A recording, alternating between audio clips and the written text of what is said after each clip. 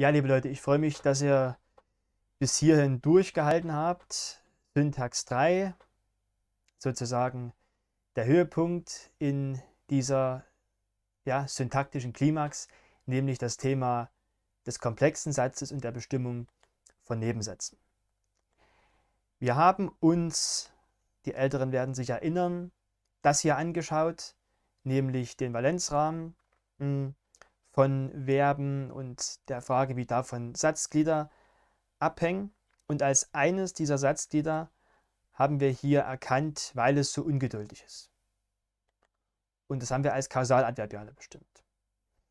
Also Satzglieder ganz normal mit bestimmten Funktionen und Formen, die hier auftauchen oder das hier auftaucht als ein Nebensatz. Und äh, ich hatte vorhin gesagt, die Komplexität dessen spielt jetzt für uns erstmal noch nicht so eine große Rolle.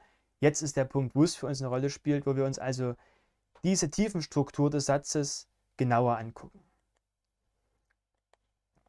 Also Thema Bestimmung von Nebensätzen.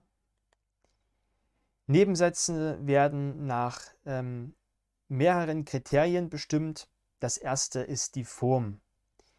Also mh, hm, wie ist der Satz aufgebaut, vor allem wie ist er eingeleitet. Und ähm, das kann man sozusagen nach einem Algorithmus machen, der hier nicht unbedingt der Reihenfolge der Auflistung entspricht, mh, hm, sondern die erste Frage, die man sich stellen sollte bei der Formbestimmung, ist die, gibt es in diesem Nebensatz einen Infinitiv oder ein Partizip als alleinige Verbform? Auf Beispiele werde ich jetzt äh, verzichten, die sind auch dem Begleitmaterial zu entnehmen ähm, sondern mir ist es wichtig, dass wir uns die Routine angucken. Und die beginnt eben mit der Frage, gibt es ein Infinitiv oder ein Partizip als alleiniges Verb in diesem Nebensatz?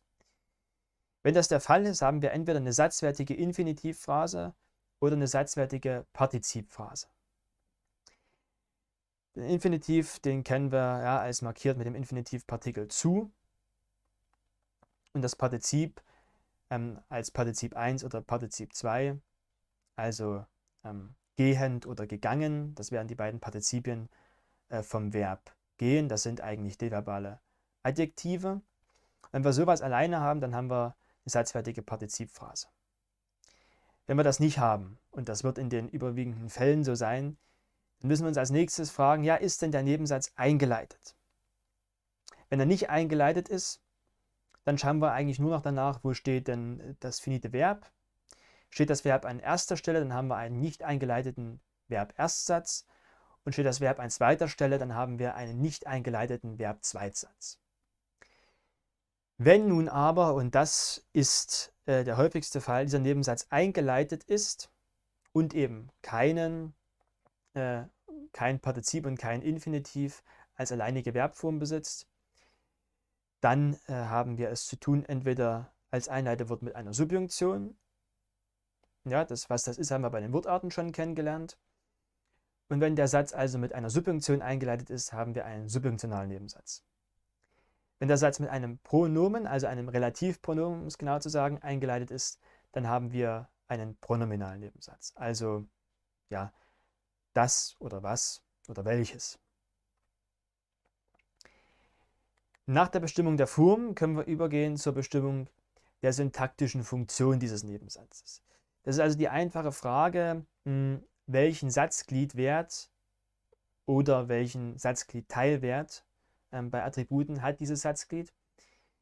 Im Prinzip ist das nichts anderes als das, was wir bei der Satzgliedbestimmung äh, schon hm, kennengelernt haben, nämlich die Bestimmung nach Subjekt, Objekt, Prädikativum, Adverbial oder eben dem Attribut, also dem Attribut als einem Satzgliedteil, das wir beim äh, äh, Satz geht ganz normal dazu rechnen, hm, das aber im, im Attributnebensatz in einen Nebensatz ausgelagert ist und diesen Nebensatz müssen wir natürlich auch bestimmen. Hm. Hier haben wir es also zu tun mit äh, Satzgliedern, die in Nebensätze ausgelagert sind. Nebensätze sind immer Satzglieder und wir müssen ähm, bestimmen, welche äh, syntaktische Funktion sie als Satzglieder haben, genauso wie wir das auch bei Satzgliedern selbst tun müssen. Zu guter Letzt müssen wir uns auch die Frage nach der Semantik stellen. nicht zu guter Letzt, ein was kommt noch, aber zu guter Letzt bei dieser ähm, elementaren Klassifikation. Das Schöne ist, dass wir die Semantik eigentlich schon ableiten können aus der Syntax. Wir können also sagen, alle Attributsätze sind Relativsätze. Wir stellen also eine Relation her. Deshalb Relativsätze, ob die restriktiv sind oder nicht restriktiv, spielt für unsere Bestimmung keine Rolle, weil wir das in vielen Fällen auch nicht näher sagen können. Dann äh, alle Nebensätze, die Satzglieder sind, die von der Valenz des Verbes angefuttert werden. Das sind sogenannte Inhaltssätze. Also Subjektsätze, Objektsätze, Prädikativsätze, das sind allesamt Inhaltssätze. Und zu zuletzt haben wir noch die adverbialen Nebensätze übrig. Und die adverbialen Nebensätze sind immer sogenannte Verhältnissätze. Bei den Verhältnissätzen müssen wir uns noch anschauen, welche Lesart, also welche Semantik haben die konkret. Und ich habe das hier schon mal aufgelistet, aber wir schauen uns das jetzt nochmal gleich im Einzelnen an. Vorher noch das vierte ähm, Klassifikationskriterium, nämlich der Einbettungsgrad, also der Grad der Abhängigkeit zum Hauptsatz. Wenn der Nebensatz äh, direkt vom Hauptsatz abhängig ist, also direkt in Relation zum Hauptsatz steht, ist es ein Nebensatz ersten Grades. Wenn in einem Nebensatz ersten Grad es einen Nebensatz gibt, der sich auf diesen Nebensatz bezieht, ist er in Relation zum Hauptsatz ein Nebensatz zweiten Grades und so können wir das dann hochführen bis zum Nebensatz 57. Grades. Alles ist denkbar. Ähm, und in den meisten Fällen haben wir es tatsächlich auch mit relativ komplexen Sätzen zu tun. Nun aber hm, zur Frage von Verhältnissätzen, wie wir deren Semantik genauer bestimmen können. Hm, die Semantik ergibt sich, und das ist hier auf dieser Folie ein bisschen verführerisch formuliert, eigentlich nicht aus der Frage der Subjunktion, mit der dieser, dieser Nebensatz eingeleitet ist, sondern aus der Lesart an sich, also welche Bedeutung hat dieser Nebensatz.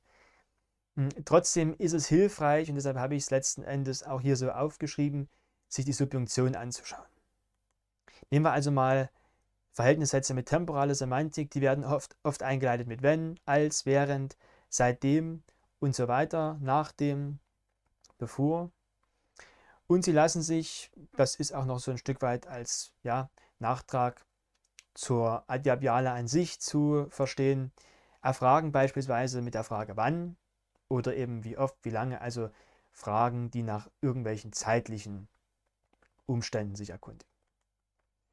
Das nächste ähm, Modal, also das, was wir schon kennengelernt haben als die Art und Weise. Mhm. Dort haben wir also die Frage wie oder eben auf welche Art und Weise. Und äh, typische Subjunktionen sind in dem, während, wohingegen und so weiter. Dann haben wir die Gruppe der kausalen Verhältnissätze, hm, die also immer einen Grund angeben. Und das ist im Wesentlichen weil oder da als einleitende Subjunktion.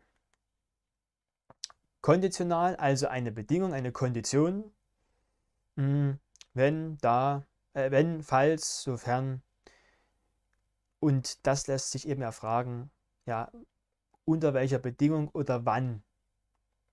Und da sehen wir, ja, haben, wir haben schon so ein bisschen eine Kollision mit den temporalen Verhältnissätzen.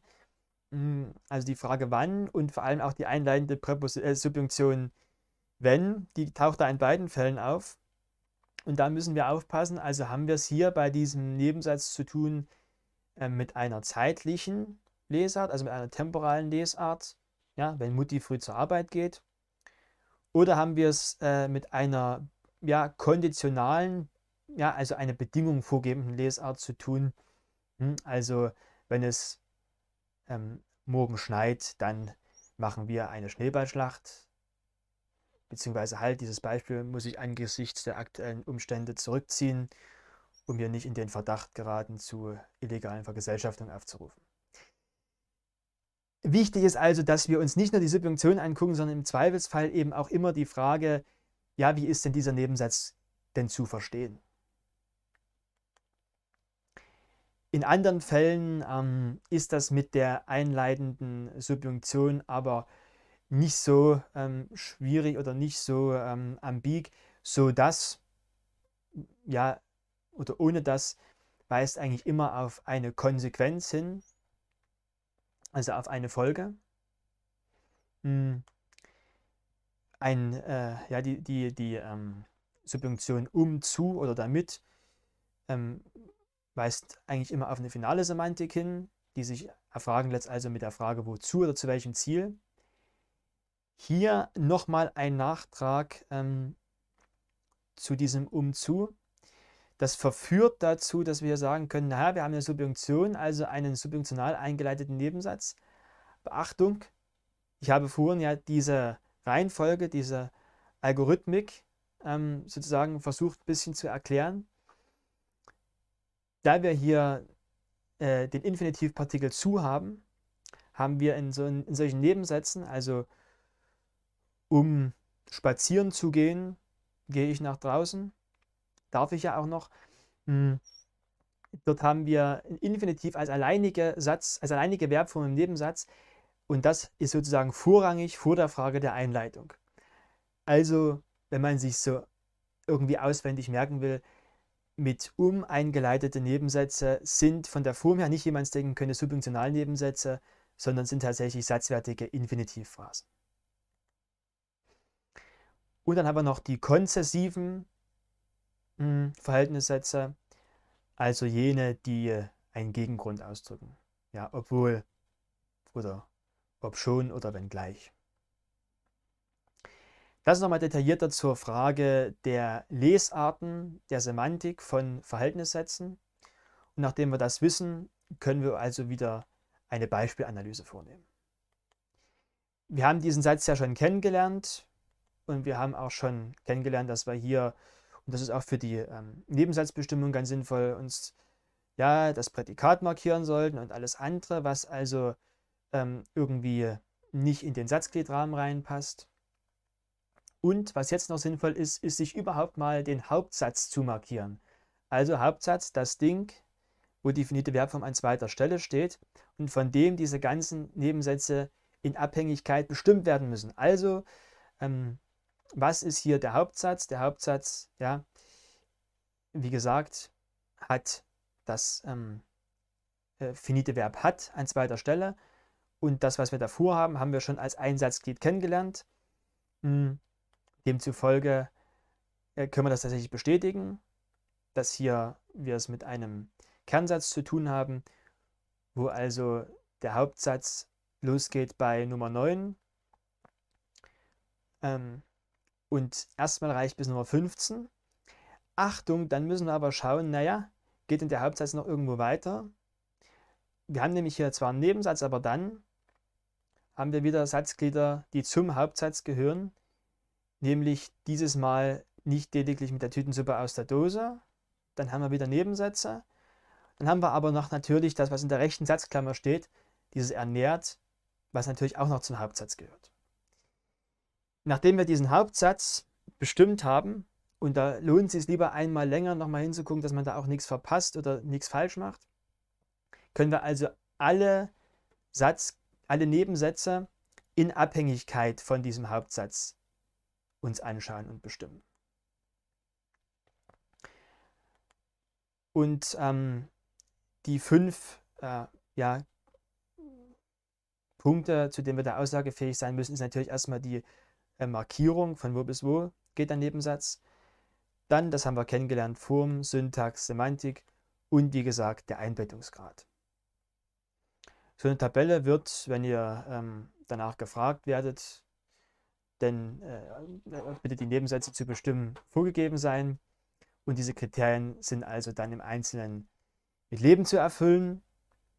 Und hier lohnt es sich eigentlich immer nach Kommata zu schauen. Kommata, das funktioniert bei Satzgliedern nicht unbedingt, aber bei Nebensätzen funktioniert das. Kommata markieren immer eine Nebensatzgrenze, Ausnahme und die haben wir hier auch, Nummer 11 und 12. Natürlich in Aufzählung, in sogenannten Akkumulationen gilt das nicht. Also äh, der liebe gute Weihnachtsmann, das ist natürlich eine Aufzählung mehrerer Attribute und keine Nebensatzkonstruktion. Ansonsten müssen wir eigentlich außer bei den Kommas immer noch aufpassen, ob wir auf einer Ebene zwei Nebensätze haben, die zum Beispiel mit und verbunden sind. Die müssten wir auch im Einzelnen bestimmen, das ist hier aber nicht der Fall. Und wenn wir das alles wissen, können wir also erstmal die Nebensätze hier markieren, äh, rein ja, von wo bis wo sie gehen. Und das habe ich hier also schon mal vorbereitet. Und dann können wir loslegen. Nebensatz 1, der geht ja, von Nummer 1 bis 3.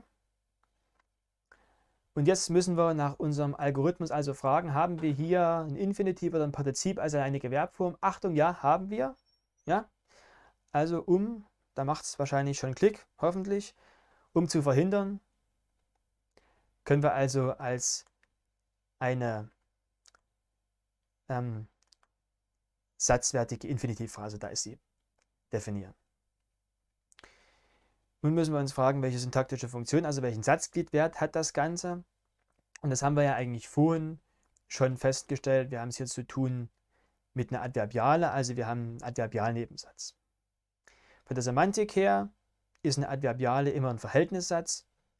Und auch das haben wir vorhin schon gesagt, die Semantik ist eine finale.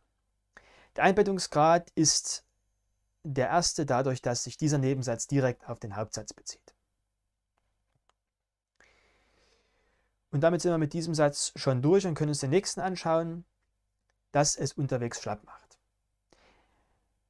Erstmal wieder gefragt, haben wir hier einen Infinitiv oder ein Partizip als alleinige Verbform? Das ist nicht der Fall.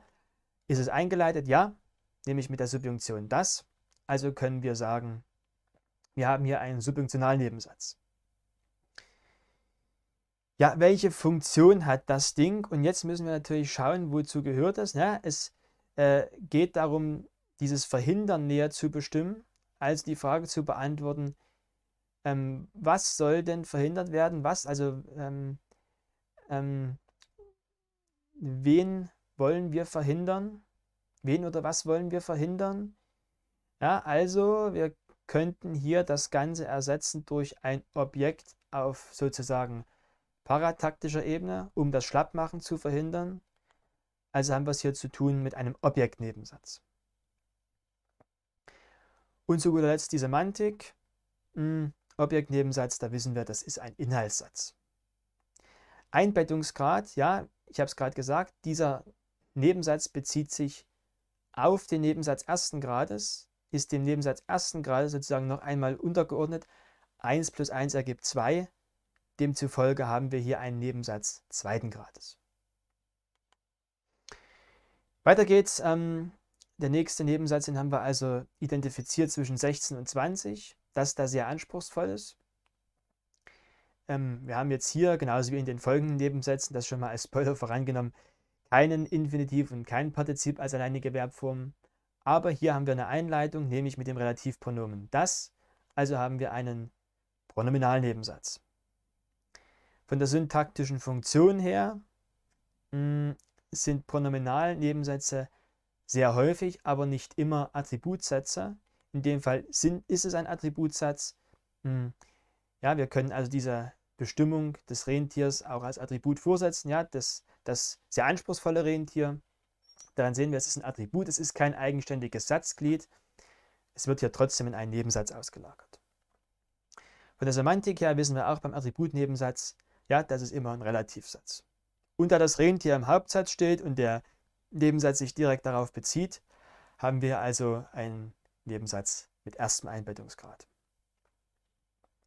Der nächste Nebensatz, und da sehen wir natürlich hier, ähm, der ist irgendwie zerstückelt. Also äh, Nummer 31 bis 35 und dann 43. Also wir sehen, es kann natürlich innerhalb von Nebensätzen nochmal Nebensätze geben, die diese Nebensätze sozusagen unterbrechen, dann eine Ein Einbettungsgrad eine Ebene tiefer gehen, äh, dann aber, nachdem sie beendet sind, wieder der Nebensatz eine Ebene drüber fortgesetzt wird. Also in dem Fall der Nebensatz, von der es immer Bauchschmerzen bekommt.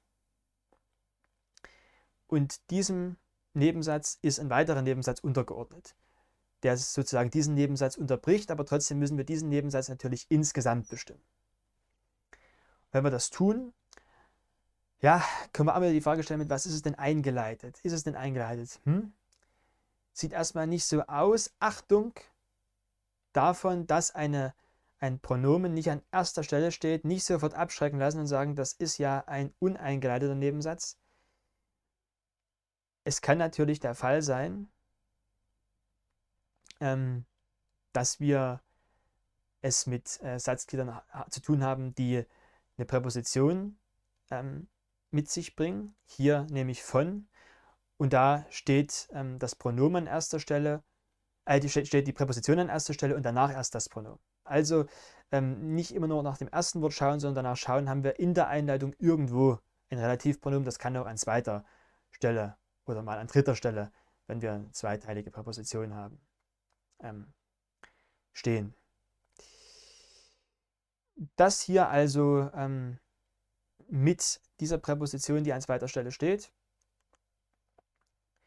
äh, mit diesem Pronomen, das an zweiter Stelle steht, Entschuldigung, was sich wiederum bestimmen lässt als, Pro als äh, Pronominalnebensatz. Auch hier haben wir es wieder zu tun ähm, mit einer attributiven Ergänzung, also einem Attributnebensatz. Und demzufolge haben wir es auch hier wieder zu tun mit einem Relativsatz. Und ähm, da sich die Tütensuppe, die hier näher bestimmt wird, im Hauptsatz befindet, haben wir auch hier wieder einen Relativsatz, einen Nebensatz ersten Grades. Und haben wir ja gerade schon gesehen, hier ist irgendwas reingeschoben in diesen Nebensatz ersten Grades, also ein untergeordneter Nebensatz. Hm. Ja, und wir haben aber hier wieder eine Einleitung mit dem Pronomen. Also haben wir erstmal wieder einen Pronominalnebensatz.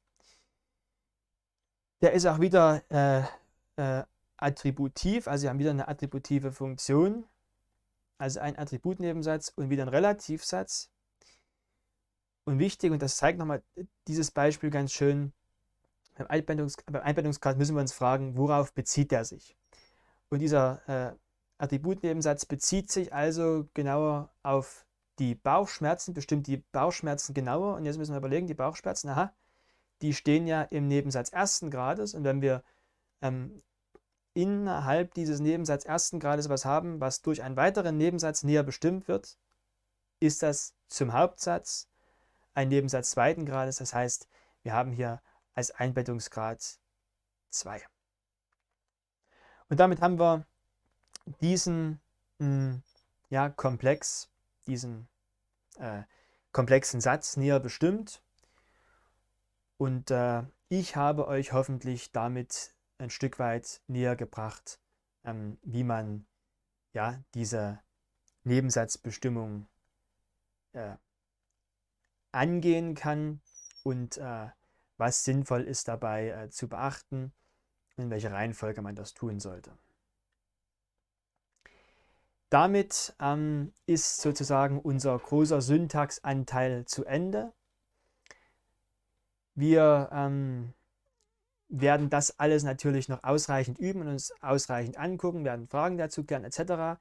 Jetzt aber sozusagen am 24. Dezember möchte ich mich in die Phalanx der ja, Weihnachtsgrüße und Weihnachtswünsche nicht übermäßig lang einreihen. Ich wünsche euch ein schönes, ruhiges, besinnliches Weihnachtsfest in dem Rahmen, in dem ihr es feiern könnt und dürft. Ich wünsche euch vor allem Gesundheit und ich wünsche euch ähm, einen ja, guten, ruhigen Rutsch ins neue Jahr und schon mal vorab dafür alles Gute und wir sehen uns dann hoffentlich in der ersten Sitzung im nächsten Jahr gesund und munter wieder und werden dann zum Thema Syntax sprechen. Wer jetzt immer noch nicht genug hat, für den werde ich auch noch, wie schon äh, vorhin angekündigt, ein kurzes Video machen zur Frage Adverb oder Adverbiale. Hm, das nochmal zurückgreifend auf den Bereich der äh, Morphologie auch, also der Wortartenbestimmung. Ansonsten, wie gesagt, lasst auch mal am Weihnachtsabend die konzessive Adverbiale eine konzessive Adverbiale sein und genießt die ruhigen Tage. Und ich verabschiede mich damit bei den meisten sicherlich für dieses Jahr.